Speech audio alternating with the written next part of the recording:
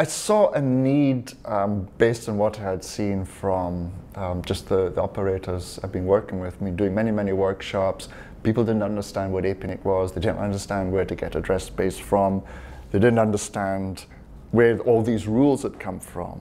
You know, they were seeing North American operators, European operators sitting on large amounts of address space, and in the Asia and Pacific regions, it was how did these people get all this address space and why can't we get it? And how, how can APNIC make rules like this? How dare they almost? Not said, but it was certainly the implication of how dare they.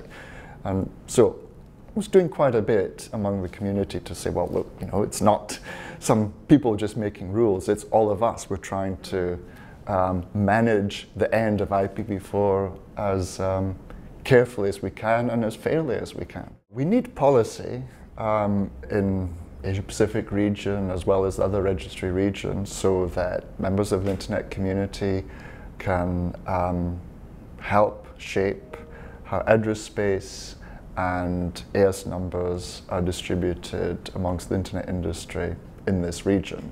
Um, a lot of people just seem to think that the registries come up with these rules and regulations and that they cannot have v4 address space and it's somebody in some country or economy somewhere else that is saying that they can or cannot get.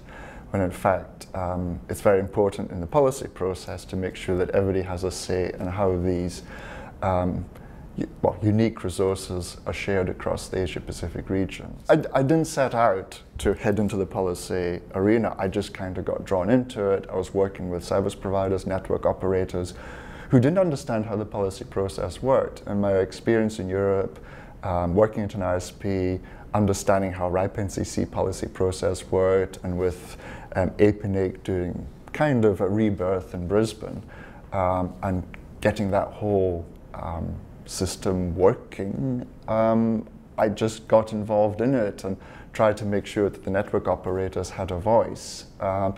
In some of the things that really mattered for, for the network infrastructure.